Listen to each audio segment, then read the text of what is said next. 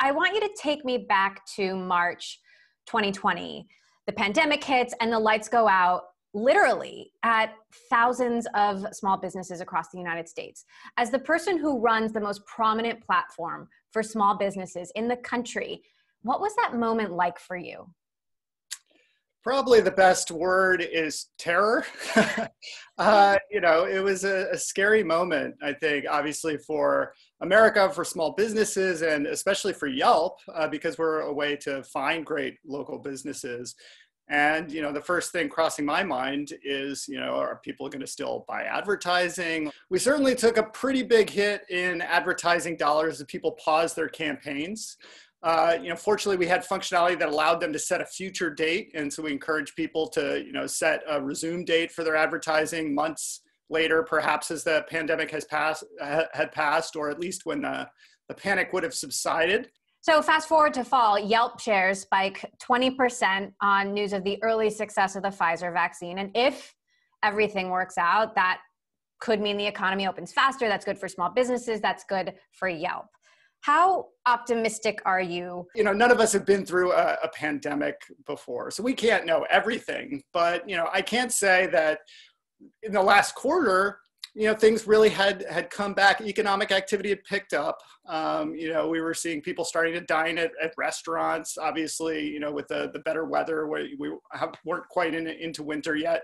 People were returning to restaurants. Home and local services as people spent more time at home with the vaccine uh, potentially arriving and starting to get out there i think you know we can we can finally say hey there is light at the end of this tunnel uh, you know, that's been the scariest thing about the whole crisis is we had hoped that a vaccine would arrive, but actually knowing that that one is there and that it's actually 90% effective, I think is, is very exciting. Uh, you know, certainly for, for us at Yelp, hopefully for lots of in the minds of small business owners and, you know, the, the rest of the world is, is very happy, I think, to hear that news. Now, you regularly release these economic impact reports, and from what I can tell, by the end of summer, you found that 160,000 businesses had closed on Yelp. Where does that number stand now? What are businesses telling you about how they're doing region to region? We have seen you know businesses lots of businesses reopen that were temporarily closed. I think the number is around 220000 uh, of the temporarily closed businesses have opened back up again which is a, a great sign.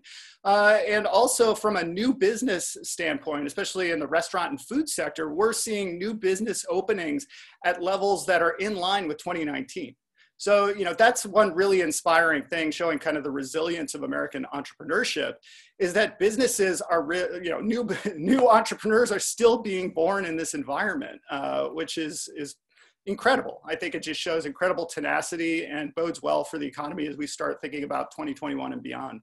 Now, the pandemic, as you alluded to, has become very, very political. And I'm wondering what your take is on Joe Biden's election. Are you at all concerned that his safety first approach could you know mean the economy opens more slowly. I think we you know we have to be guided by science um, you know, we, we have to take a dispassionate look. We have to take politics out of it and say, what, you know, we can't really have a, a, great economy if everyone's cowering, you know, from impacts of the pandemic or hospitals are getting overloaded with cases. So we just have to take a, a sensible approach. We have to listen to the scientists. If they're telling us that, you know, wearing masks is going to, you know, diminish uh, the impact of the pandemic, then we should all be wearing masks. It's very straightforward. It shouldn't be a political issue. It's, it's very frustrating that it has been. And I think that costs us valuable time and even more importantly, causes, you know, costs us health and, and even lives. It seems like the next stimulus package might be more scaled back. Are you concerned about a divided government, meaning that small businesses aren't going to get the help they need?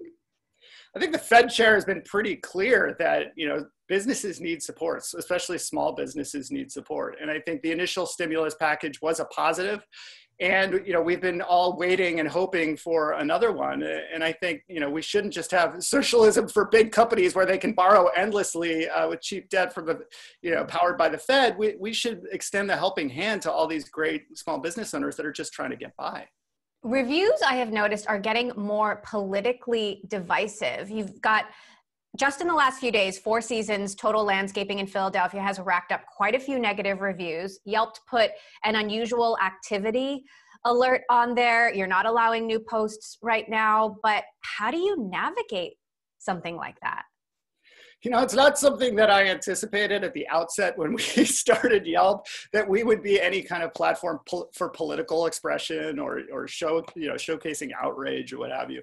But it has been something that, that has popped up from time to time, happens fairly regularly you know that, that people come to Yelp uh, when when a business in particular is involved in some sort of controversy. And so we've had to come up with creative ways to deal with that.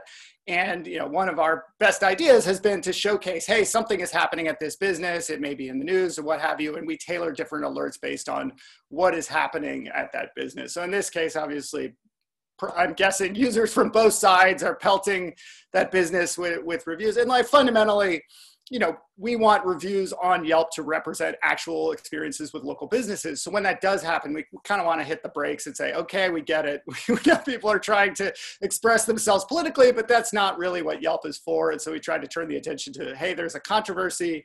You can ignore this Yelp page and we'll clean it up uh, and, and get back to business, which is steering people towards great local businesses.